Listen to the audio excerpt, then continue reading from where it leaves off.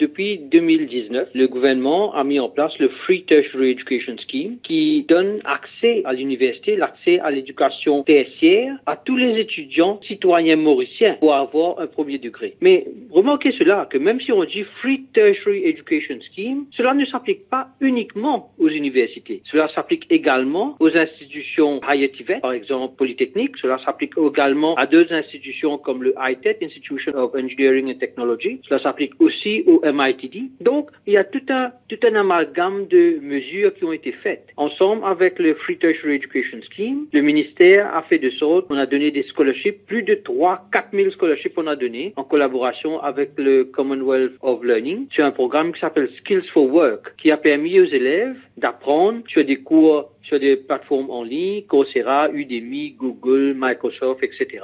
On est en train de travailler sur un pathway du Technical Education Stream. Le même principe qui est fait au niveau du tertiaire. Ça veut dire, ce n'est pas uniquement les élèves qui ont complété la HSC avec trois levels de sub ou deux levels de sub qui vont entrer à l'université. Bien sûr, eux, ils ont le minimum pour entrer à l'université directement, mais on est aussi conscient que we should not leave any child behind, comme on dit. Il faut qu'il y ait un support continue vers les élèves. Donc, on a aussi créé le Pathways. Le Pathways, ça veut dire même si quelqu'un rentre, allons dire, à la MITD ou au Polytechnique, ces enfants-là, cela ne veut pas dire que leur parcours académique s'arrête là. Il y a certains qui vont s'arrêter parce que après ce qu'ils ont appris à ces institutions, ils vont commencer un business, ils vont commencer à un technical cadre, ils vont faire des trucs. Mais il y a d'autres, allons en direction des late bloomers, qui veulent continuer. Pour ces élèves-là, on va leur donner la possibilité de continuer. Quelqu'un, par exemple, qui a un diplôme de la Polytechnique peut continuer vers un degré. Ce qui veut dire que nous, on a créé un pathway. On a plusieurs chemins pour arriver jusqu'à ce degré-là. Et c'est pas juste le chemin